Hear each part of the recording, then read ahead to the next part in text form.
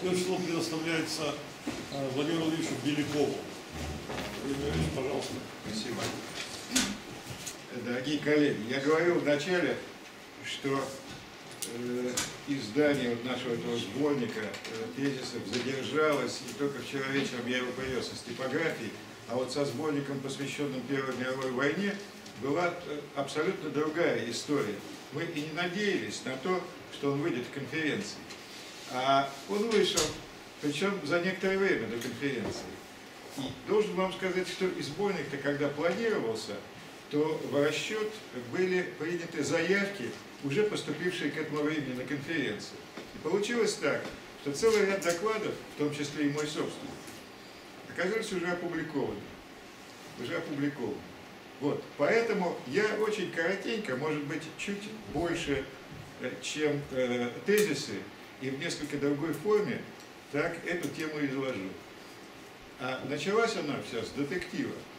Я много лет работал в Египте. И вот представьте, значит, э, э, сую нос везде. И в конце еще 80-х годов, значит, в Тель-Аль-Кибире, между Каиром и Исмаилием, на английском военном кладбище, нахожу пять русских могил марта 1919 года.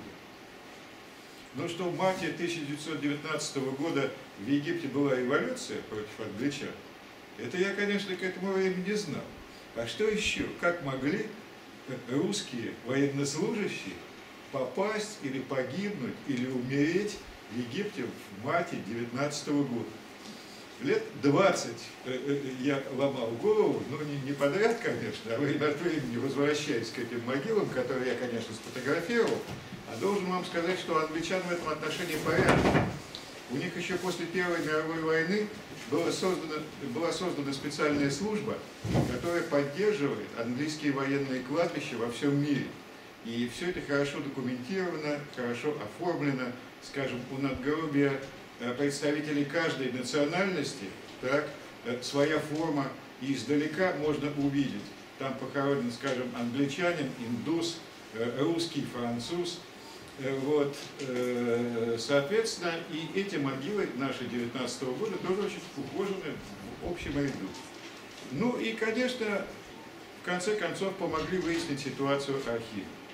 Оказалось, что после первой, окончания Первой мировой войны Э, часть бывших военнопленных, которых англичане освободили из турецкого плена, они перебросили в Египет и поселили там в ожидании репатриации в двух лагерях. В Кантаре, это на берегу Суэцкого канала между Исмаилией и Суэцем, и в том самом Тель-Аль-Кибире, рядом с которым английская военная класс. Причем численность их была довольно значительна, Э, правда, я нашел цифру только касающуюся Тель-Аль-Кибира. Так, в мае 19 года так, э, там было наших бывших пленных 1148 человек. 1148 человек. Ну и вот, знаете, с э, находкой этих документов архивных сразу стало ясно, ну, по крайней мере, процентов на 99, что те наши соотечественники, которые в Тель-Кибире похоронены и умерли там в марте 19 года, это почти наверняка э, люди из этого лагеря Тель-Кибире. То есть те бывшие пленные, которые ожидали репатриации и э, по причине ранений там, или болезней, э, вот, в общем, до репатриации не дожили. Ну, а надо сказать, что э, представьте себе 19 год, идет гражданская война, непонятно, куда отправлять этих бывших Э, военнопленных русских э, на какие деньги, все совершенно непонятно. И вот тут интересная штука. Э, в Тель-Аль-Кибире, понимая, что когда они попадут на родину, что, чего, группа решила, что надо заниматься самообразованием и в любом случае время не терять. Каким-то образом попали к ним элегантские газеты, в одной из которых они вычитали, что можно дать заявку в Париж чтобы прислали учебники, тетрадки и так далее.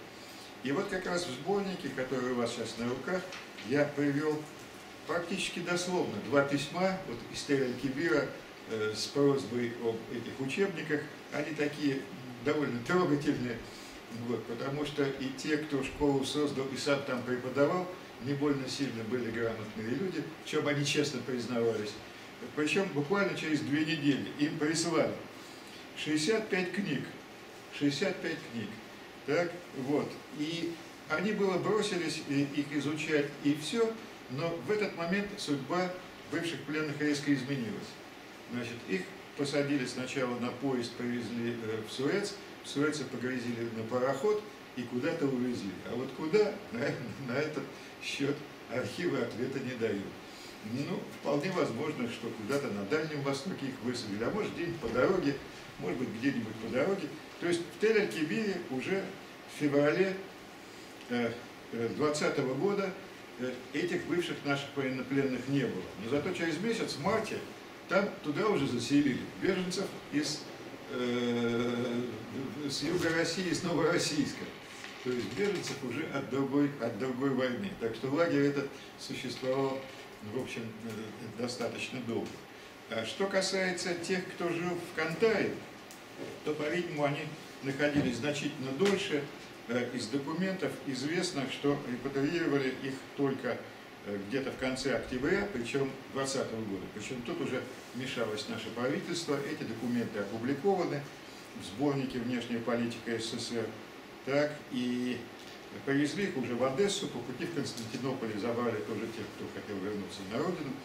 Вот, так что обитатели лагеря в Кантае пробыли в Египте дольше. Но, к сожалению, о том, как они там жили и чем занимались, я пока не нашел. Я пока не нашел. Вот такая вот история, начавшаяся с детектива и кончившаяся некоторой такой более или менее э, вразумительной информацией об этой группе людей. Спасибо. Спасибо.